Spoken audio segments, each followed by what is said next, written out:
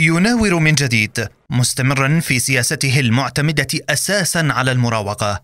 هذا ما يفعله الأسد خلال كل الاجتماعات التي تخص سوريا سواء في الأمم المتحدة ومجلس الأمن أو جنيف وسوتشي وأخيرا بعد عودته للجامعة العربية.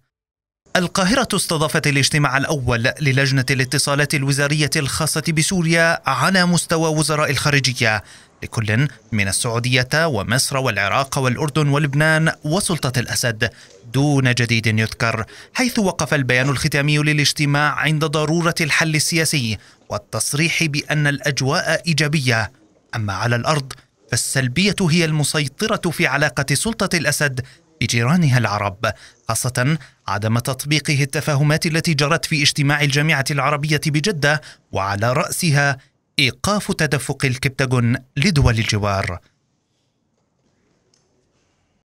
الكبتاغون الذي تخافه أوروبا وفق وكالة بلومبرغ الأمريكية وفي تقرير للوكالة قالت إن الاتحاد الأوروبي يستعد لتدفق محتمل لمخدر الكبتاغون لا سيما من سوريا ولبنان لأن المنتجين يواجهون صعوبات في تسويقه بدول الخليج العربي التي ركزت جهودها خلال الفترة الماضية على مكافحة تهريبه.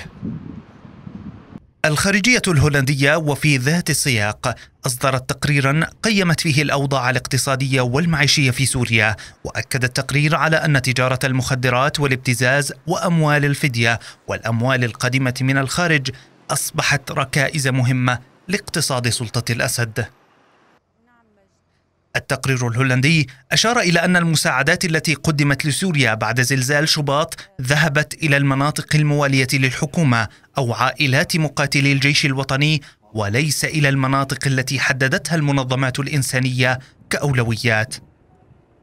أما سلطة الأسد فقد نفت تقديم مساعدات عربية لمناطق الزلزال فارس كلاس مدير الصندوق الذي أسسه بشار الأسد في أيار الماضي قال في مؤتمر صحفي إنه لم تصل مساعدات مالية للصندوق حتى الآن من دول عربية.